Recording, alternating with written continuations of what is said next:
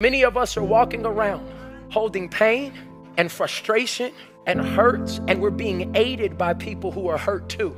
And so God says, I want some good things to come to you because I'm a God of grace. And when He sends good things your way, you can't even catch them because you're still holding on to everyone and everybody who hurt you. Cast, it, it, it's something where you have to get a little energy.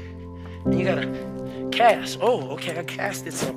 Oh, thank you, Lord. I casted them, but I ain't casting this one. I'm free enough to at least catch a good thing. So now God brings good things my way, and I just praise the one good thing because I won't release the other things. And, and so I, I'm better. I'm better than I used to be. And then God throws another blessing your way, and you can't catch it. If you release what's in your hands, then God can release what's in His hands. And oh, somebody needs to thank God right there.